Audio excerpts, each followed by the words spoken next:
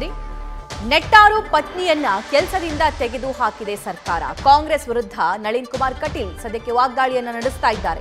ನೆಟ್ಟಾರು ಪತ್ನಿಗೆ ಬಿಜೆಪಿ ಪರಿಹಾರವಾಗಿ ಒಂದು ಉದ್ಯೋಗವನ್ನ ಕೊಟ್ಟಿತು ಅನುಕಂಪದ ಆಧಾರದಲ್ಲಿ ಕೊಟ್ಟಂತಹ ಉದ್ಯೋಗವನ್ನ ತೆಗೆಯಲಾಗಿದೆ. ಕೈ ಅಧಿಕಾರಕ್ಕೆ ಬಂದ ಕೂಡಲೇ ಅವರನ್ನ ತೆಗೆದು ಹಾಕಿದ್ದಾರೆ. ಕೆಲಸದಿಂದ ತೆಗೆದು ಹಾಕಲಾಗಿದೆ.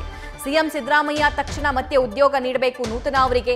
ಈ ರೀತಿಯ ದ್ವೇಷ ರಾಜಕಾರಣ ಸರಿ ಅಲ್ಲ ಅಂತ ಹೇಳಿ ನಳಿನ್ ಕುಮಾರ್ ಕಟೀಲ್ ಅವರು ಮಾತನಾಡಿದ್ದಾರೆ ನೀವು ಉದ್ಯೋಗ ಕೊಡದಿದ್ರೆ ಕೇಂದ್ರದ ಸಂಸ್ಥೆಗಳಲ್ಲಿ ಉದ್ಯೋಗವನ್ನ ನಾವು ಕೊಡ್ತೀವಿ.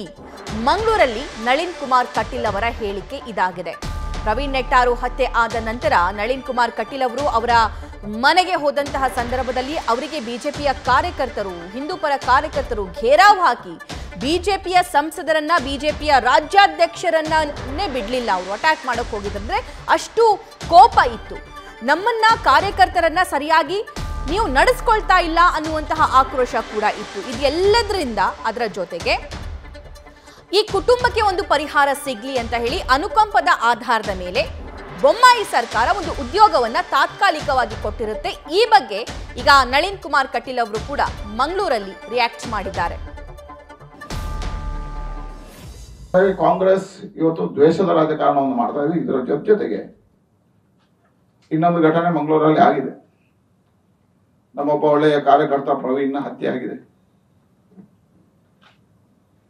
ಹತ್ಯೆ ಆಗಿರ್ತಕ್ಕಂಥ ಸಂದರ್ಭದಲ್ಲಿ ಅವ್ರಿಗೆ ಏನು ಸಹಕಾರಗಳನ್ನು ಕೊಡಬೇಕು? ಆಗಿನ ನಮ್ಮ ಸರ್ಕಾರ? ಮೊದಲ ಬಾರಿಗೆ ಪರಿಹಾರವನ್ನು ಕೊಟ್ಟಿದ್ದೀವಿ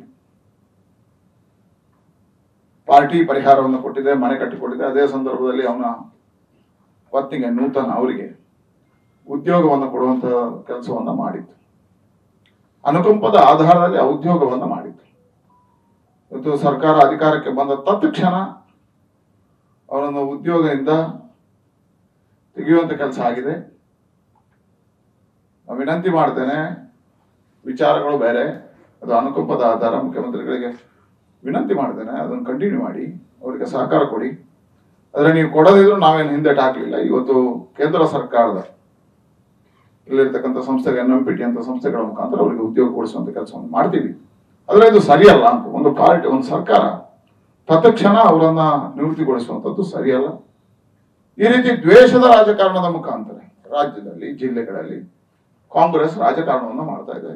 ಖಂಡಿತ. News first